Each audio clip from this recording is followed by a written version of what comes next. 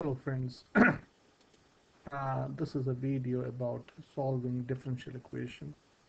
I got this uh, question from one of the Australian textbooks. The question is like this, find the constant a and b if y is equal to e to the power 4x times 2x plus 1 is a solution of the differential equation d squared y dx squared minus a times dy by dx plus by is equal to 0. So what they're saying is for this differential equation this is a solution.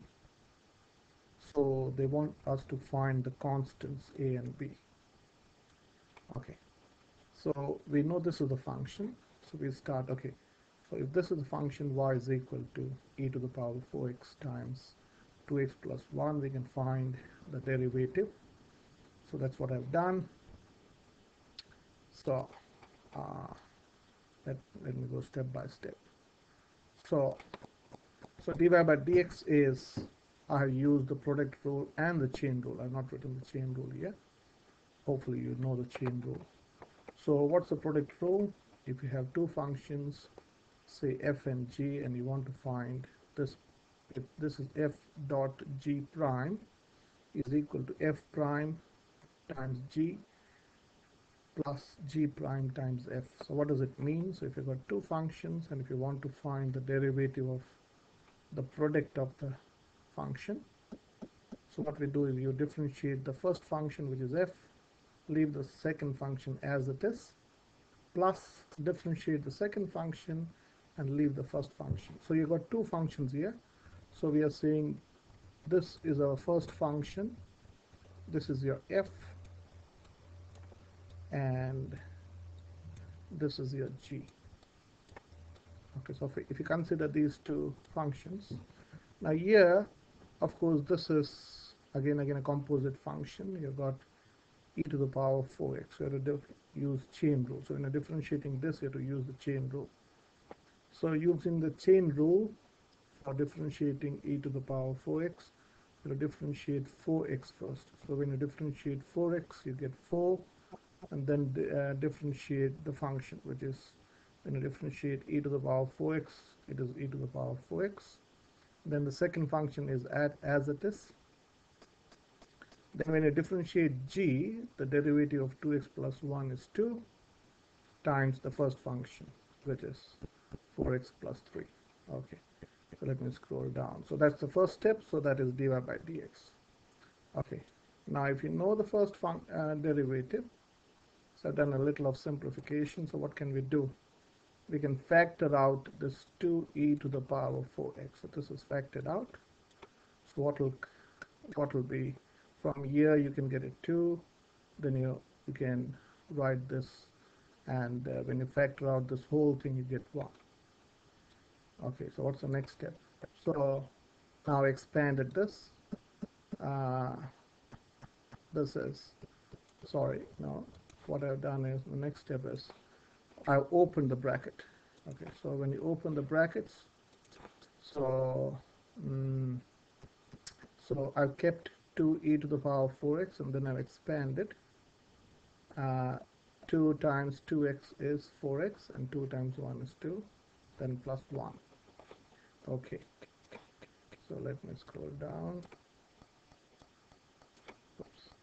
Mm, so the next step is so this 2 is adds to 3 so that is the simplified form or the derivative the first derivative is 2 e to the power 4x bracket 4x plus 3 okay.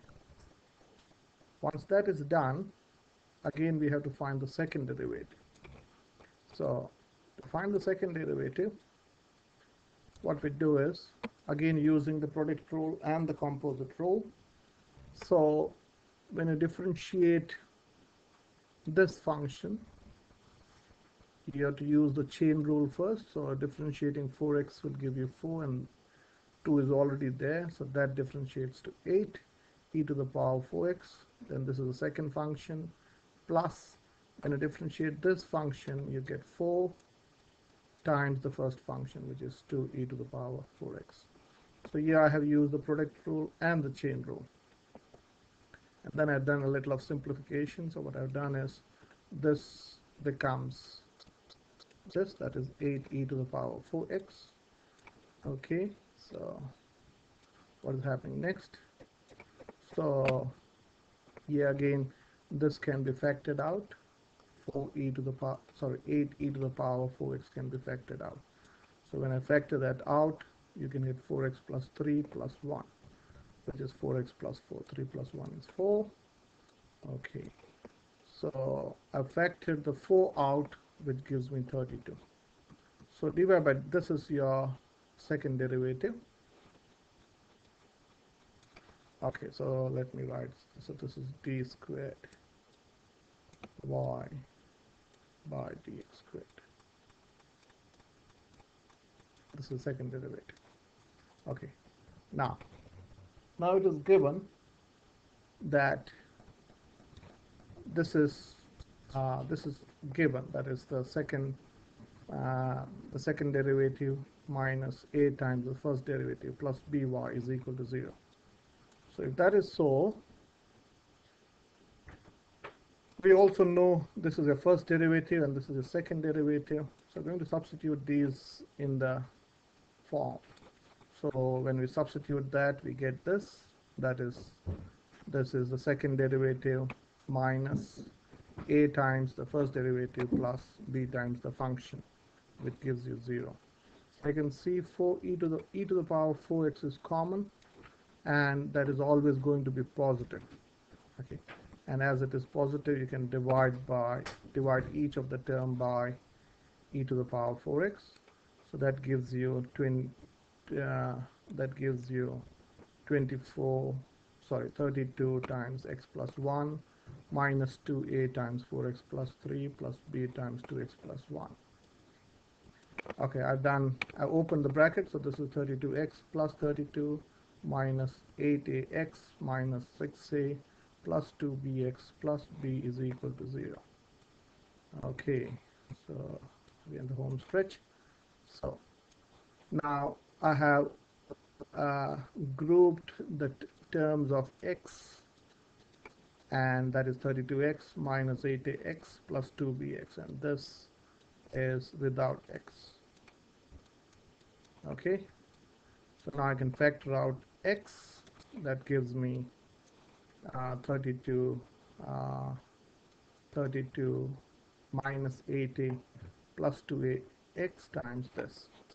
Now this from this next step now if this equation is equal to 0 I can say that this has to be 0 and this has to be 0 so if I set that equal to 0 I can say so I get two simultaneous equation. So that is 32 minus 80 plus 2b is equal to 0 and 32 minus 6a plus b is equal to 0 okay. And uh, you can use a graphic calculator or by elimination I've done the elimination method. I multiplied the second equation with negative 2 so this plus 2b and negative 2b gets cancelled. So I get 4a minus 32 is equal to 0 so so a, a is equal to 8 now. If you put substitute a is equal to 8 in either 1 or 2 equation 1 or 2 we can get b is equal to 16 now let us check whether so what we know is now a is 8 b is 16 we know dy by dx. This is the second derivative. Let us check whether what they have given is right. So this is the differential equation. Uh, the second derivative take away a times the first derivative plus b times the function is equal to 0 so this is the second derivative uh, minus the first derivative is this so that will give you minus 2 times uh, 8 so this is minus 8 times. So this is your first derivative.